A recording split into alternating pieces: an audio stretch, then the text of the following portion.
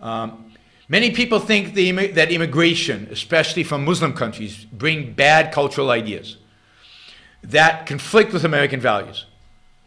Um, okay, um, they do.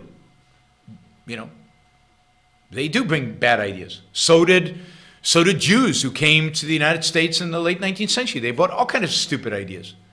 So did every primitive culture that ever sent. And we are strong culture. We will overcome that. We will teach those people to abandon that. Now, if they do something that violates rights, like force their daughter to get married at 12, put them in jail.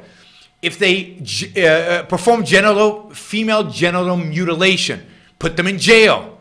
If they do honor killings, put them in jail and throw away the keys. So anything they do that violates individual rights, prosecute them to the full extent of the law, and at the same time, as Americans, be proud of our culture. Call them on the misogyny, call them on the authoritarianism. By the way, today in America, I see much more authoritarianism among American born than among immigrants. Immigrants come here because it's a freer country. Even Muslim immigrants come here because they're escaping the authoritarianism in their own countries often, often because they're escaping Sharia. Now, if somebody, and this is why screening, I do think we're at war with, uh, you know, Islamic totalitarianism, with, with Islamism, with jihadism. If somebody is sympathetic to those views, don't allow them in. I'm even willing to concede a complete Muslim ban, not a pathetic, ridiculous, dishonest Muslim, uh, you know, ban that Obama did, where he, he banned all the countries where we've never had terrorists come from. And the countries where we had to have terrorists come from, he didn't ban. And, he, and it wasn't a Muslim ban, it was a hodgepodge of a meaningless ban.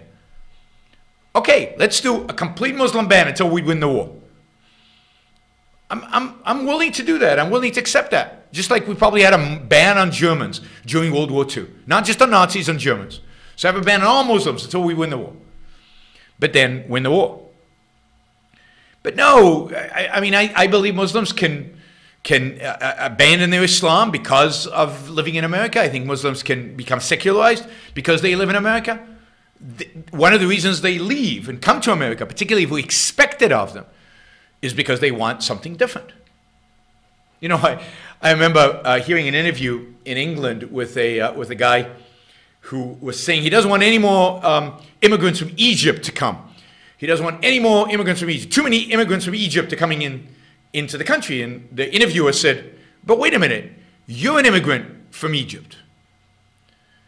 Uh, 20, 20 years earlier, he had immigrated from Egypt. He said, yeah, I came here because I didn't want to live with them.